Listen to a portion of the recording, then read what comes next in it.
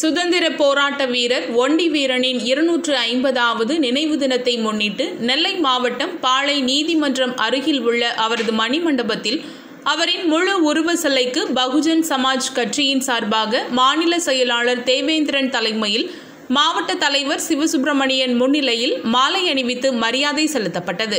உடன் மாவட்ட பொருளாளர் சிவராஜ் பாளை சட்டமன்ற தலைவர் சிவந்தி சுரேஷ் பாளை சட்டமன்ற செயலாளர் லாசர் உள்ளிட்ட பலர் கலந்து கொண்டனர்.